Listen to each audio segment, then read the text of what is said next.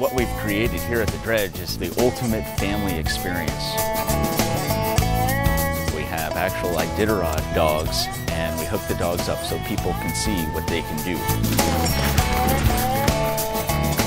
It's also very hands-on, so a little boy or a little girl holding one of the puppies really makes it all worthwhile. One of the best things that I like about the excursion is the 40 Below experience.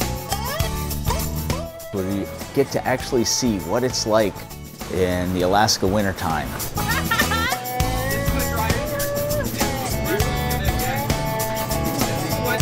It's a pretty unique experience here at the Klondike Goldfield. Look at that. You get to explore the history, really take in the idea that you are back in 1898.